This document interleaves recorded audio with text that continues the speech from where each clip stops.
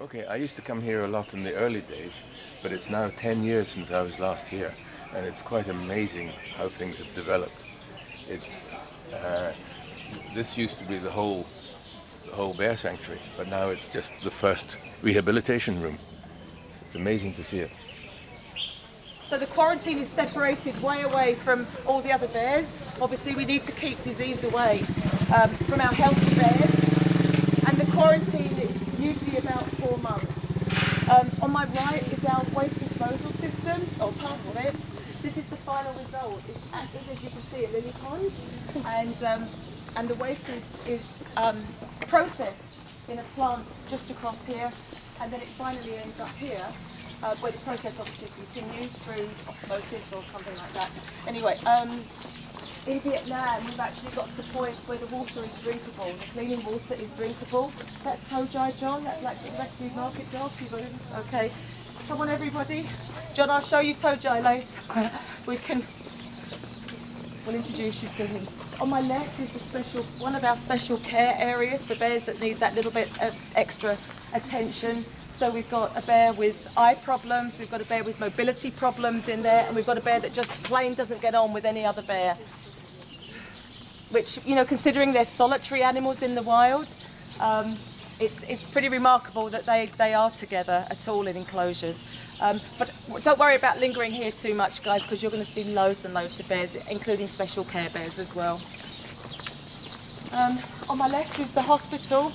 Um, that was put up a couple of years ago, and we've been extremely lucky to get some, you know, some donated equipment to allow our vet staff to obviously give the, the bears the care that they need. The bears just need anything from, a, from surgery to remove the gallbladders, lasting, I think the record is about two and a half hours, and the, the highest record is 12 hours. The, the, the tissue is so um, scarred and, uh, and inflamed and thickened, blah, blah, blah. It's just, it's a hideous mess in there. So that's the wastewater treatment on, on my right. The, is our herb garden. We're growing the herbal alternatives to bear bile as well so that children can acknowledge. We've, we've been um, obviously assisted by Chinese medicine doctors along the way. There. With their name, their description, um, some little bits of information about them, how they died, and some nice pieces of memories from, um, from some of our staff as well.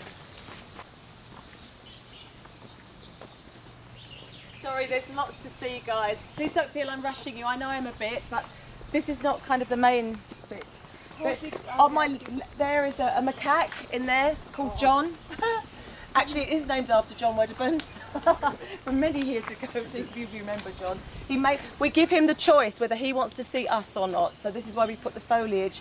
He might pop his head out at some point, and then again he hasn't. So uh, just, just don't, don't shout. Just be quiet. This is Benji.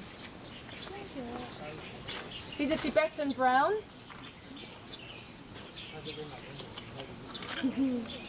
He's very curious, he likes people.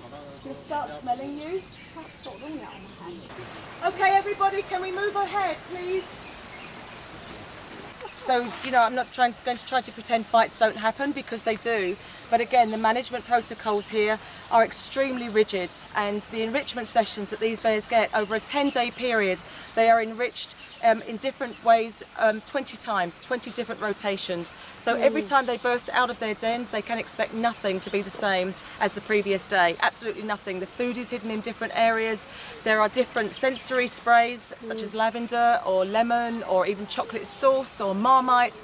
Um, which is smeared everywhere. It, it doesn't even matter if they don't like lemon, which they don't, because that's what they would find in the wild. And that as well just stimulates these intelligent minds to make them go, oh, don't like that very much, and they move on. Um, so the food is hidden in different areas to prevent dominant behaviour and also to um, encourage natural foraging instincts that they would have in the wild as well. We're probably going to introduce uh, more of those in the enclosure. There's something very interesting happening here, guys. Um, we, we do have a bit of a spat but we have a couple of bears around that are quite worried about this spat. and we do have peacemakers in the enclosure. We absolutely do. Every enclosure, there is usually a peacemaker that will try to prevent fighting. It's absolutely unbelievable. They will get in the middle. There's a very famous bear in this enclosure called Jasper. And I, that, the one in the crush cage that I showed you, 15 years in a crush cage, I, I love this bear to death because he will amble over and say, come on guys, break it up, and in bear language, whatever it is. And it's, it's just superb. It's superb. So, so it is feeding time now, so of course, you know, there, there's going to be the odd spat. We've had two deaths from what we call play gone wrong, and that's involved juveniles both times. Both times, um, one juvenile um, bit another one in the femoral artery, and the bear bled out very quickly. Everyone was absolutely devastated. But you know, it's stuff happens in the wild. It will it will happen as well. A lot of bears with um, severe eye problems, again as a result of being on the farms, the poor nutrition, a lack of vitamin E, bad cataracts, oh god, lens luxation. We're very, very lucky we have um, ophthalmologists from the UK that come out for free. Um, they've been out three times now and in some cases they've actually been, been able to give vision back to our blind bears. Ah. So they're obviously they can't with him, they had to remove both his eyes, but um, wherever they can they will. But you can see again, having no eyes for the bears is no impediment. You know, it's, it's probably slightly bothersome, but they find their food. They have an ex exceptionally keen sense of smell, of uh-huh, course. Uh-huh. But you can see a lot of it. This is this is not our buildings. This is the original government offices here. So you know, one day we'd like to do something here, but we don't actually have the funds to do it. But you know, hey, it's fine. It's all out of bounds. So please don't go in these buildings. Since the earthquake hit, we've had five areas that are out of bounds. So we've got some dangerous buildings on site. The graves are concept. So you've got the Chinese pyramid-shaped graves, and then you've got the Western Cross. It does not denote Christianity, which we've been accused of in the past. It's just a mark of respect, a Western mark of respect, with a Chinese mark of respect to say goodbye to bears that we've loved. Um, we bury the bears with um, their favourite food, with their favourite toys, um, we say a poem in English and Chinese. Um, there's a part of the poem that says, Please look upon the others and give them promise of hope soon, and tell them to be patient and always wear the moon. And it just always makes everyone burst into floods of tears when that happens. Um, the bears are either cremated um, or if they have mobility problems, they're buried. And we figure they won't mind in a few years to be dug up again so that we can analyse their skeleton. Remember, our goal is to end bear farming and we need to prove every single thing against this hideous industry, even to the fact that cage confinement causes so much um, you know, physical uh, problems to these bears. Torture traps. Yeah. So again, the, the method is you've got the feeding tray there so the bear is um, perpetually hungry, they've, so they've always got a full gallbladder of bile. Um, and so the bear then is encouraged to drink honeyed water, so obviously flips over onto his abdomen.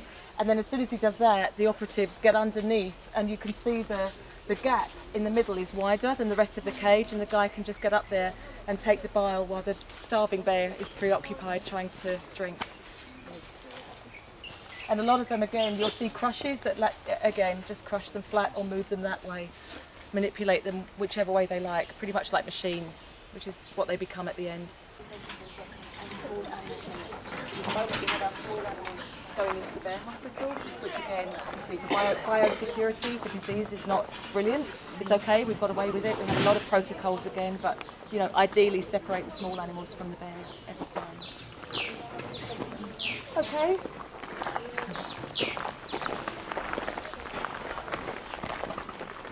This is everything you see. All this is obviously still all horticulture. We're still growing. Um, we grow corn at this time of year.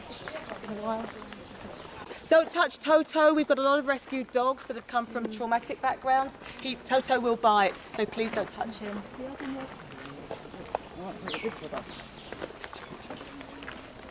We've had him 10 years, so an old timer.